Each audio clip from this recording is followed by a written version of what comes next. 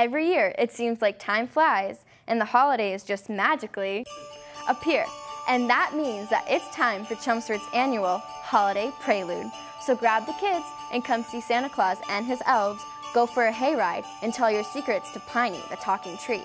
You can even sample some hot chowder and, of course, the annual tree lighting.